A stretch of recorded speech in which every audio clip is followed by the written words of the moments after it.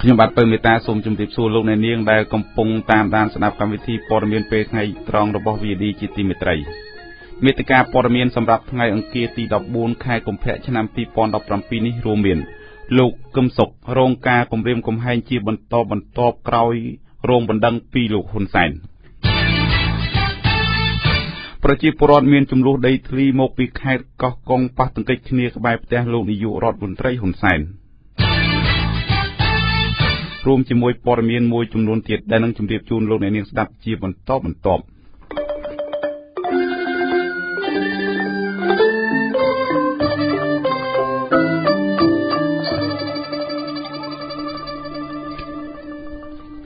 លំដាប់តទៅនេះខ្ញុំបាទពៅមេតាសូមជូនព័ត៌មានពិស្ដាគណៈដែលតុលាការកោះហៅលោកសំរងស៊ីឲ្យចូលបំភ្លឺនៅថ្ងៃនេះគណៈបកប្រឆាំងអះអាងថាមិនផ្ដល់មេធាវីការពារក្តីឲ្យលោកសំរងស៊ីពាក់ព័ន្ធទៅនឹងសំណុំរឿងដែលលោកហ៊ុនសែនប្តឹងនោះទេដោយថាអតីតប្រធានគណៈបករូបនេះមិនមែនជាសមាជិកគណៈបកទៀតទេលោកហ៊ុនសែនបានប្តឹងលោកសំរងស៊ីពីបទបរិហាកេរជាសាធារណៈដោយទារសំណងជំងឺចិត្តចំនួន1លានដុល្លារអាមេរិក បន្ទាប់ពីលោកសំរងស៊ីនិយាយថា លោកហ៊ុនសែនបានឲ្យលុយធីសវណ្ណថា1លានដុល្លារដើម្បីបំបែកគណៈបកសង្គ្រោះជាតិអ្នកនាំពាក្យគណៈបកសង្គ្រោះជាតិលោកយឹមសវណ្ណបានប្រាប់ VOD នៅថ្ងៃនេះថាគណៈបកប្រឆាំងមិនបានដាក់មេធាវីការពារក្តីលោកសំរងស៊ីពាក់ព័ន្ធទៅនឹងបណ្ដឹងរបស់លោកហ៊ុនសែននោះទេដោយថាលោកសំរងស៊ីបានប្រកាសជាលែងពីប្រធានគណៈបកនេះហើយ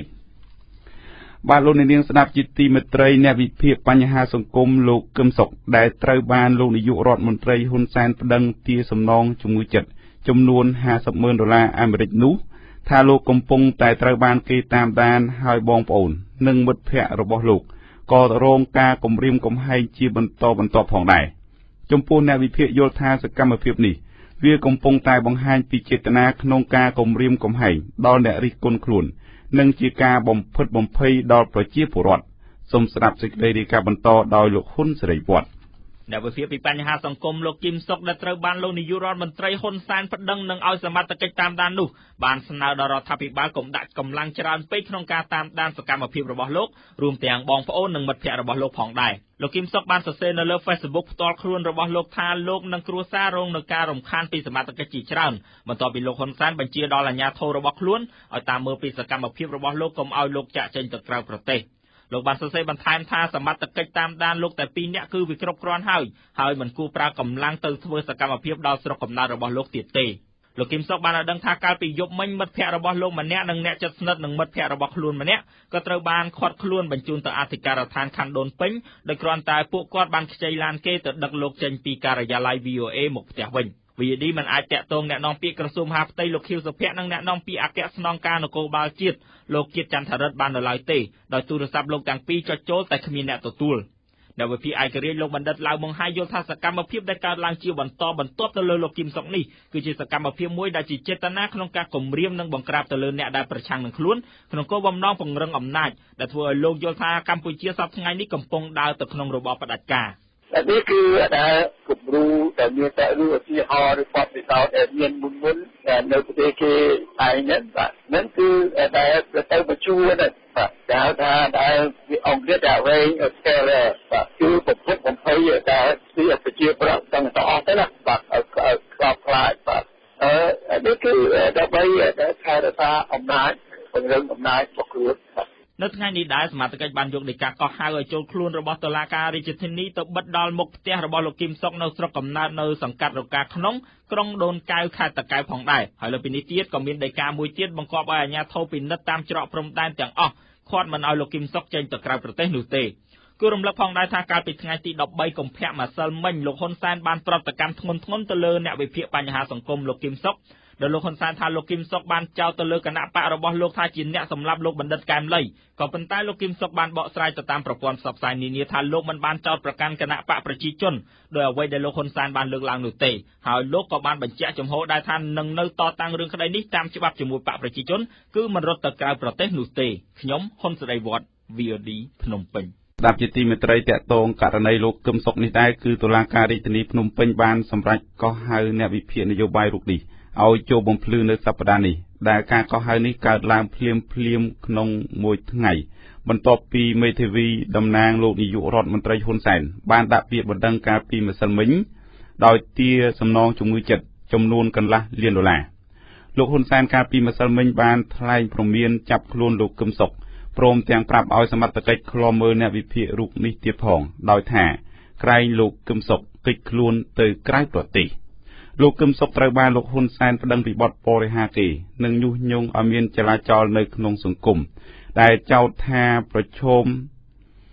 ដែលបទចោទនេះប្រឈមនឹងជាប់ពន្ធនាគារ2ឆ្នាំ បន្ទាប់ពីលោកនិយាយនៅវិទ្យុអាស៊ីសេរីជុំវិញឃាតកម្មសម្រាប់លោកកែមលី។ បាទលោកអ្នកនាងស្ដាប់ជាទីមេត្រីនៅព្រឹកថ្ងៃអង្គារនេះប្រជាសហគមន៍ដែលមានចំនួនដីធ្លីមកពីខេត្តកោះកុងបានស្វែងរកកិច្ចអន្តរាគមន៍ពីលោកនាយករដ្ឋមន្ត្រីហ៊ុនសែនដោយធ្វើដំណើរចេញពីវត្តសាមគ្គីរាំងសីឆ្ពោះទៅកាន់ផ្ទះលោកនាយករដ្ឋមន្ត្រីហ៊ុនសែននៅក្បែរវិមានឯករាជ្យប៉ុន្តែនៅពេលដែលប្រជាសហគមន៍ទាំងនោះព្យាយាមដើរកាត់មុខផ្ទះលោកនាយករដ្ឋមន្ត្រីហ៊ុនសែនក៏មានការរារាំងពីសមត្ថកិច្ចហើយមានការប៉ះទង្គិចគ្នាមួយប្រាវនៅក្បែរវត្តលង្កា ជុំវិញព័ត៌មានលម្អិតនៃការប៉ះទង្គិចគ្នានេះកម្មវិធីព័ត៌មាន VOD នឹងផ្សាយជូនលោកអ្នកនាងស្ដាប់នៅក្នុងកម្មវិធីព័ត៌មានខ្លីនិងព័ត៌មានពេលល្ងាចជាបន្តទៀតព័ត៌មានមួយទៀតតាក់ទងទៅនឹងសហគមន៍មានចំនួនដីធ្លីនេះដែរគឺប្រជាសហគមន៍ដីធ្លីនៅតំបន់បឹងកក់ធ្វើដំណើរទៅកាន់ទីស្តីការគណៈរដ្ឋមន្ត្រីនៅព្រឹកនេះដើម្បីស្វែងរកដំណោះស្រាយពីបញ្ហាដីធ្លី និងបញ្ហាប្រឈមផ្សេងផ្សេងដែលពួកគាត់កំពុងជួបប្រទះ ឲ្យលោកនាយករដ្ឋមន្ត្រីហ៊ុនសែនជួយដោះស្រាយប៉ុន្តែត្រូវសន្តិសុខរារាំងមិនឲ្យចេញពីសហគមន៍នោះទេ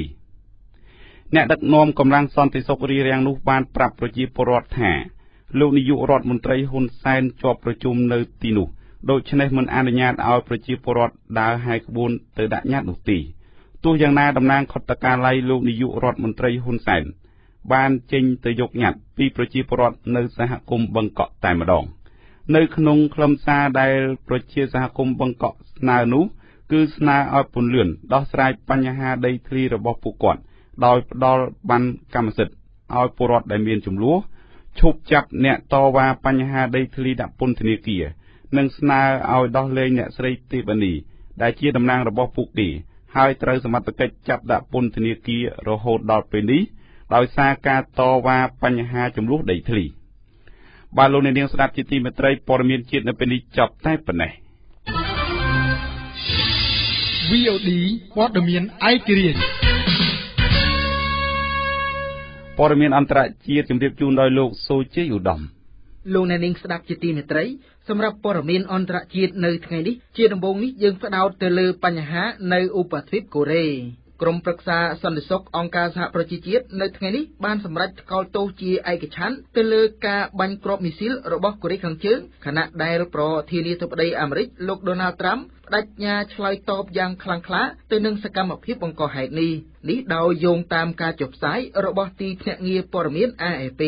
ដោយទទួលបានការគ្រប់គ្រងពីប្រទេសចិនដែលជាសម្ព័ន្ធមិត្តដ៏សំខាន់របស់របបក្រុងភ្យុងយ៉ាងនោះក្រុមប្រឹក្សាសន្តិសុខអង្គការសហប្រជាជាតិបានឯកភាពទៅលើសេចក្តីថ្លែងការណ៍មួយដែលព្រៀងដោយសហរដ្ឋអាមេរិក សេចក្តីថ្លែងការណ៍នោះបានចាត់ទុកការបាញ់សាក់លបងគ្រាប់មីស៊ីលនោះជាការរំលោភយ៉ាងធ្ងន់ធ្ងរទៅលើសេចក្តីសម្រេចរបស់អង្គការសហប្រជាជាតិនិងបានគម្រាមចាត់វិធានការតឹងរឹងបន្ថែមទៀត ក្រុមប្រឹក្សាសន្តិសុខអង្គការសហប្រជាជាតិបានជួបប្រជុំក្នុងបន្ទប់បិទទ្វារមួយទៅតាមសំណើរបស់អាមេរិកប្រទេសជប៉ុននិងកូរ៉េខាងត្បូងបន្ទាប់ពីក្រុងភ្យុងយ៉ាងបានប្រកាសថាខ្លួនបានបាញ់សាក់លបងប្រកបដោយជោគជ័យនៅគ្រាប់មីស៊ីលថ្មីកាលពីថ្ងៃអាទិត្យកន្លងមកនេះដែលនោះគឺជាការបាញ់សាក់លបងលើកដំបូងចាប់តាំងពីលោកត្រាំចូលកាន់តំណែង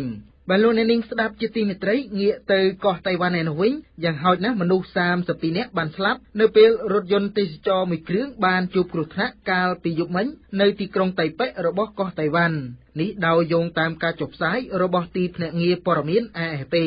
AFP បានផ្សាយបន្តថារូបភាពវីដេអូបានបង្ហាញរថយន្តទេសចរនោះបានបើកងាកទៅបុកនឹងរបាំងខណ្ឌចែកផ្លូវមុននឹងវាក្រឡាប់មន្ត្រីពន្លត់អគិភីបាននិយាយថា ក្នុងចំណោមមនុស្ស44នាក់នៅលើរថយន្តនោះមនុស្ស30នាក់ត្រូវបានគេប្រកាសថាបានស្លាប់នៅនឹងកន្លែងកើតហេតុហើយមនុស្ស2នាក់ទៀតបានស្លាប់នៅឯមន្ទីរពេទ្យចំណែកមនុស្ស12នាក់ទៀតកំពុងស្ថិតក្រោមការព្យាបាលនៅតាមមន្ទីរពេទ្យអញ្ញាធរកោះតៃវ៉ាន់បាននិយាយថាអ្នកដំណើរជាច្រើនគឺជាមនុស្សចាស់ប៉ុន្តែអ្នកដំណើរមានអាយុចាប់ពី20ដល់60ឆ្នាំ អ្នកដំណើរទាំងនោះស្ថិតក្នុងដំណើរទេសចរដែលរៀបចំដោយក្រុមហ៊ុនឯកជនក្នុងស្រុកមួយមន្ត្រីម្នាក់បាននិយាយថាភ្ញៀវទេសចរទាំងនោះសុទ្ធតែជាអ្នកមកពីកោះតៃវ៉ាន់ទាំងអស់ប៉ុន្តែគេនៅតែបន្តស្វែងរកព័ត៌មានលម្អិតអំពីអ្នកដំណើរទាំងនោះនេះគឺជាគ្រោះថ្នាក់ចរាចរណ៍ថ្មីបំផុតពាក់ព័ន្ធនឹងរថយន្តទេសចរនៅលើកោះតៃវ៉ាន់កាលពីដើមខែកុម្ភៈនេះ រថយន្តទេសចរមួយគ្រឿងទៀតដែលផ្ទុកភ្ញៀវទេសចរចិន បានបើកទៅបុកនឹងស្ពានមួយនៅភាគខាងត្បូងកោះតៃវ៉ាន់ដោយបង្កឲ្យអ្នកដំណើរមួយចំនួនរងរបួសបើលោកអ្នកនាងស្ដាប់ជាទីមេត្រីជុំវិញទំនាក់ទំនងអាមេរិកនិងកាណាដាឯនោះវិញប្រធានាធិបតីអាមេរិកលោកដូណាល់ត្រាំនិងនាយករដ្ឋមន្ត្រីកាណាដាលោក Justin Trudeau បានទទួលបរាជ័យនៅក្នុងការលើកឡើងពីការប្រព្រឹត្តខុសគ្នាទៅលើជនភៀសខ្លួន អំឡុងពេលមេដឹកនាំទាំងពីរបង្ហាញខ្លួនជាសាធារណៈរួមគ្នានៅថ្ងៃនេះប៉ុន្តែហាក់ដូចជាបានបន្ធូរបន្ថយភាពតានតឹងខាងពាណិជ្ជកម្មនេះដោយយោងតាមការចុះផ្សាយរបស់ទីភ្នាក់ងារព័ត៌មាន AFP AFP បានផ្សាយបន្តថា មេដឹកនាំទាំងពីរបានបញ្ជាការរិះគន់គ្នាដោយត្រង់ៗទៅវិញទៅមក បន្ទាប់ពីបានជួបគ្នានៅសេតវិមានប៉ុន្តែបានបញ្ជាក់ថាពួកគេមិនបានមើលមុខគ្នាត្រង់នោះឡើយចំពោះការព្យាយាមរបស់លោកត្រាំក្នុងការរារាំងជនភៀសខ្លួន និងអ្នកដំណើរមកពីប្រទេសមូស្លីមធំៗចំនួន7លោកត្រាំបានការពារបទបញ្ជាអន្តោប្រវេសន៍ដ៏ចម្រូងចម្រាសរបស់លោកដោយចាត់ទុកថាត្រឹមត្រូវនិងមិនបាននិយាយអ្វីនោះឡើយ នៅពេលដែលត្រូវបានគេសួរថាគោលនយោបាយបើកទ្វារចំហរបស់កាណាដាបង្កការគំរាមកំហែងដល់អាមេរិកឬយ៉ាងណានោះក្នុងរយៈពេលប៉ុន្មានថ្ងៃនេះជនអន្តោប្រវេសន៍ខុសច្បាប់រាប់រយនាក់ត្រូវបានគេចាប់ខ្លួននៅទូទាំងសហរដ្ឋអាមេរិកក្រមសង្គមស៊ីវិលនិយាយថាជនភៀសខ្លួនដែលគ្មានប្រវត្តិជាអ ுக ្រិតជនក៏ត្រូវបានគេចាប់ខ្លួនផងដែរនៅក្រោមសំណាញ់ច្បាប់របស់លោកត្រាំ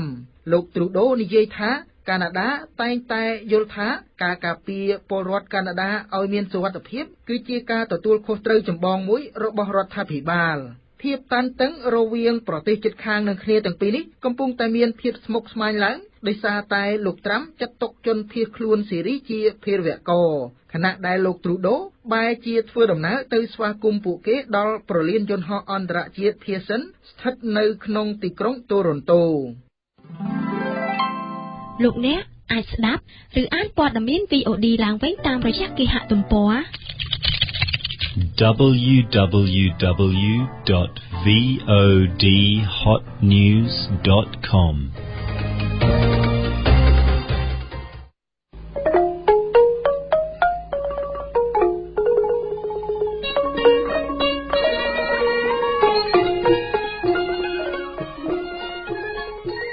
បាទលោកនាងស្ដាប់ជាទីមេត្រីគណៈពេលនេះកម្មវិធីព័ត៌មានពេលថ្ងៃត្រង់របស់ VD ដែលផ្សាយជូនលោកនាងស្ដាប់នៅពេលនេះចប់តែប៉ុណ្ណេះសម្រាប់ពេលនេះខ្ញុំបាទពៅមេតារួមជាមួយលោកហ៊ីឆាយអ្នកបញ្ជាម៉ាស៊ីនផ្សាយរួមទាំងសហការីទាំងអស់សូមអរគុណនិងសូមជម្រាបលា thank you